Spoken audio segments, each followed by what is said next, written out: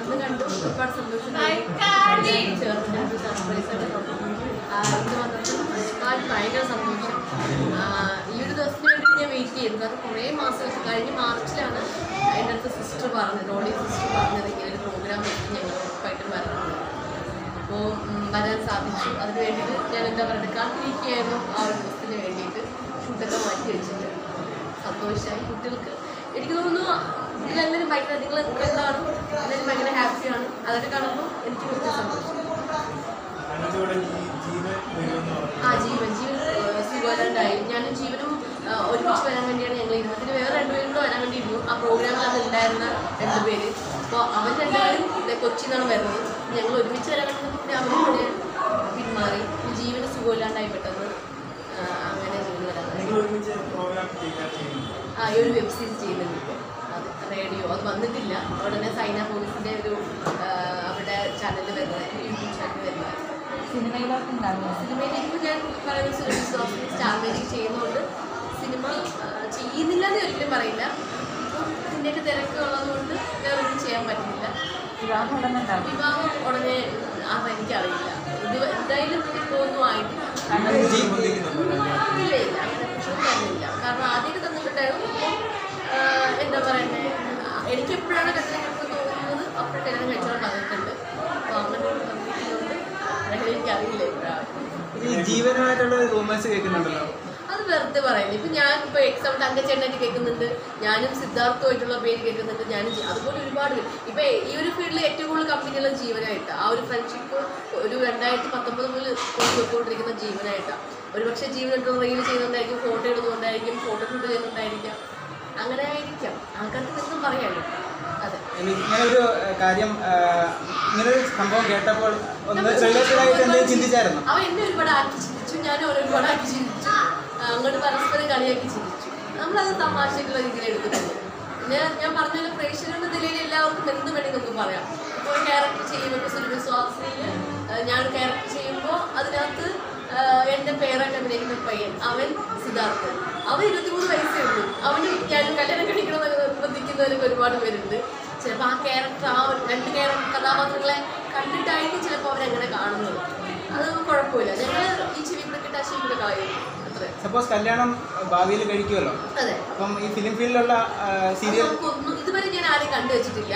ഇനി അഥവാ നമുക്ക് ഒന്നും പറയാൻ പറ്റത്തില്ല. നമ്മൾ ആരാണ് കല്യാണം കഴിക്കാൻ പോകുന്നു എന്നും ഒന്നും പറയാൻ പറ്റില്ല ദൈവം എന്താണ് നിശ്ചയിച്ചിരിക്കുന്നത് തന്നെയാണ്. ഈ രീതിയിലുള്ള റൂമേഴ്സ് വരുമ്പോൾ ഫാമിലിയിൽ നിന്ന് എന്താണ് പറയാറ് ആദ്യം സങ്കടം ഉണ്ടായിരുന്നു ഇപ്പൊ കുഴപ്പമില്ല. ഇപ്പൊ എന്റെ കൂടെ സപ്പോർട്ടായിട്ട് നിൽക്കുന്നുണ്ട്. ആ വാൻ പറ. അത്രേ അതേപോലെ അനിയനെ പറ്റി ആൾക്കാർക്ക് അറിയാൻ ആഗ്രഹമുള്ളത് സ്റ്റാർ മാജിക്കിന്റെ ചന്ദ്രജിക്ക് നല്ല വിശേഷങ്ങളാണ്. എന്താണ് വേണ്ടത്? പേഴം വെള്ളി ശനി ദിവസങ്ങളാണ് ടെലികാസ്റ്റ് ഒമ്പത് മണിക്കാണ് ഏതായാലും കാണാം. നന്നായിട്ട് പോകുന്നുണ്ട്. മുതലേ ഞാൻ അങ്ങനെയാണ് സന്തോഷം വന്നാലും സങ്കടം വന്നാലും ഞാൻ കഴിയും സന്തോഷം വരുമ്പോൾ എന്താണെന്നറിയില്ല കൂടുതൽ കരയും. അത് എന്റെ ഫാമിലികളെല്ലാം അമ്മയാണെങ്കിലും അച്ഛനാണെങ്കിലും ഞാൻ ഞാനും. ചേച്ചി കുഴപ്പമില്ല. ചേച്ചി കരയാറുണ്ടെന്ന് തോന്നുന്നു എനിക്ക്. അങ്ങനെ എന്റെ ഒരു ടൈപ്പല്ല അമ്മയും അച്ഛനും സങ്കടം സന്തോഷം വന്നാൽ കരയാറുണ്ട്. സങ്കടം വരുമ്പോൾ സങ്കടം വരുമ്പോഴും കരയാറുണ്ട് എന്താണെന്നറിയില്ല. എല്ലാവരും സന്തോഷം. ഭയങ്കര ഞാൻ സന്തോഷത്തിന് എനിക്ക് തോന്നുന്നു സന്തോഷത്തിന്റെ കണ്ണീരായിരിക്കാം ചിലപ്പോൾ ഭാവി വരനെ പറ്റിയുള്ള സങ്കല്പങ്ങളൊന്നുമില്ല അങ്ങനെ സങ്കല്പമൊന്നുമില്ല. മനുഷ്യനായിരിക്കണം. മാത്രമേ ഉള്ളൂ. നല്ലൊരു മനുഷ്യനായിരിക്കണം. നന്നായിട്ട് മനസ്സിലാക്കുന്ന ഒരാളായിരിക്കണം. അത്രേ ഉള്ളൂ. വേറെ അങ്ങനെ സങ്കല്പങ്ങളൊന്നുമില്ല.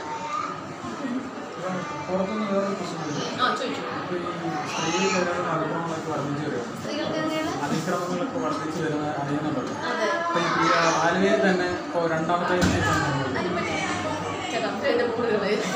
അല്ല എങ്കിലും ഒരു സ്ത്രീ എന്ന നിലയിൽ എന്തുകൊണ്ട് ഇങ്ങനെ അതിക്രമം വർദ്ധിച്ചു വരുന്നുണ്ട് അപ്പോൾ അതിനെതിരെ അനുവിന്റെ ഒന്നാമത്തെ കാര്യം എന്ത് അനു എന്നുള്ളതിൽ ഞാൻ പറയുകയാണെങ്കിൽ ഈ പാരൻസ് കുട്ടികളെ ശ്രദ്ധിക്കുന്നില്ല ഒന്നാമത്തെ കാര്യം. ഇപ്പം പറഞ്ഞിട്ട് വീടിനകത്ത് പിടിച്ചിടണമെന്നല്ല ഞാൻ പറയുന്നത്. കൂടുതൽ ശ്രദ്ധിക്കണം. അതാണ് ഞാൻ മെയിനായിട്ട് പറയുന്നത്. ഇപ്പം ആരും രണ്ട് പീഡനങ്ങളാണ് നടന്നത്. അപ്പോൾ ആ രണ്ടും ഈ പറയുന്ന പോലെ എനിക്ക് തോന്നുന്നത് എനിക്ക് ഈ കിടന്ന് മാത്രമല്ല പട്ടി പട്ടികൾ കുട്ടികൾ റോഡിൽ പോകുമ്പോൾ വീടിന്റെ ഫ്രണ്ടിൽ അല്ലെങ്കിൽ കുട്ടികൾ എങ്ങോട്ടെങ്കിലും മാറിക്കഴിഞ്ഞാൽ പാരൻസ് ആരും ശ്രദ്ധിച്ചില്ല. അവരെവിടെയെങ്കിലും കാണും എന്നുള്ളൊരു വിശ്വാസത്തിലാണ് എല്ലാവരും അച്ഛനമ്മമാരെ കുറ്റം പറയാൻ പറ്റില്ല. അവർ അടുക്കളയിൽ കുക്ക് ചെയ്യുന്നത് ടൈമായിരിക്കാം മക്കൾ ഈ വീട്ടിന് ചുറ്റും ഉണ്ടാകും എന്നുള്ളൊരു ശ്രദ്ധയിലാണ് അവരിരിക്കുന്നത് പക്ഷെ കൂടുതൽ ശ്രദ്ധിക്കാം മക്കൾ എപ്പോഴും ശ്രദ്ധിക്കാം എല്ലാ കാര്യങ്ങളും പറഞ്ഞ് മനസ്സിലാക്കാം ഒരു പ്രായം അതായത് ഒരു അഞ്ച് വയസ്സാവുമ്പോൾ തന്നെ കുട്ടികൾക്ക് അല്ലെങ്കിൽ നാല് വയസ്സാകുമ്പോൾ തന്നെ കുട്ടികൾക്ക് നല്ലതും ചീത്തയായിട്ടുള്ള കാര്യങ്ങൾ പറഞ്ഞ് മനസ്സിലാക്കി. പുറത്തുനിന്നുള്ള ആരെങ്കിലും വന്ന് വിളിച്ചാൽ പോകരുത്. അങ്ങനെയുള്ള കാര്യങ്ങൾ പറഞ്ഞ് മനസ്സിലാക്കി കുഞ്ഞുനാളിൽ മുന്നേ പറഞ്ഞ് മനസ്സിലാക്കി കൊടുക്കുക. അതെ. അവരെ കെയർ ചെയ്യുക മാക്സിമം മക്കളെ കെയർ ചെയ്യാം.